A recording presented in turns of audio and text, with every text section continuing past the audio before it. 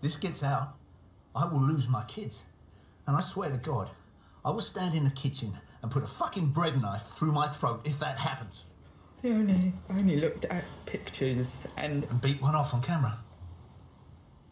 That's what they got, yeah? Your hot little face, blurred fist, dick burping fucking spunk everywhere. Your mum's gonna love that on Facebook, Twitter, Insta fucking whatever. And her friends, all eyes on you, giving it that.